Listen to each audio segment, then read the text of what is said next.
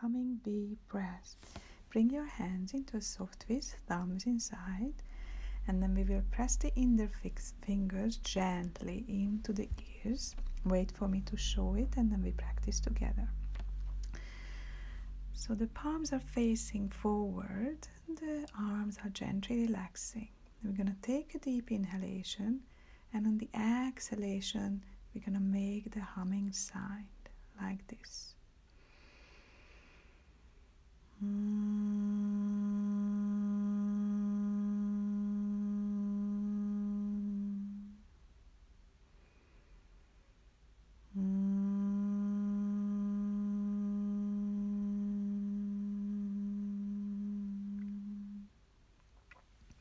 Now practice as well. So take a deep breath, press your fingers gently into the ears, and create the humming sound.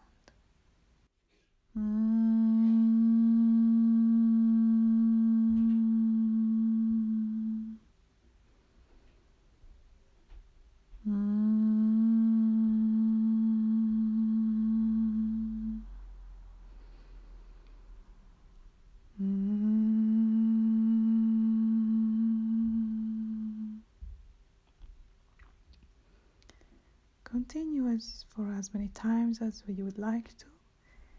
It's very good for calming down the nervous system when we worry too much. It's a relaxing breathing, cleansing the air element. Continue with the humming sound as long as you would like to.